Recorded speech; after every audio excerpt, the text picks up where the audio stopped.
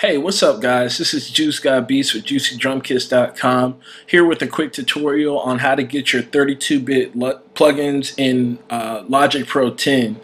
Uh, if you're like me, a Sylenth user, you're frustrated with the fact that Logic Pro 10 doesn't have a solution for you to come in and just use 32-bit plugins. Um, what Apple did was they shifted to um, a higher standard of audio quality, and they only accept uh, or they're only compatible with 64-bit plugins now.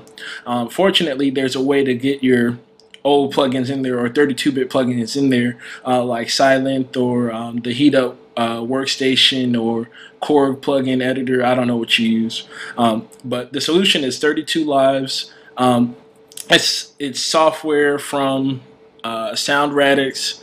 Uh, the program costs $100, but it's really easy to use and um, I haven't had any problems with it so far. Uh, what you do is you uh, pay for it, you get a download link. Um, I have it pulled up just to show you guys. Um, you pick whatever plugins you want to be able to use in Logic Pro 10. You click the resurrect button. As you can see, it's already done. And um, that's it. Now I can I can use Sylenth uh, in Logic Pro 10. So yeah, that's it. Um, if you guys have any more questions, leave them in the comment section below. Uh, if you thought this was helpful, please uh, like this video and subscribe to my channel. Thanks. Peace.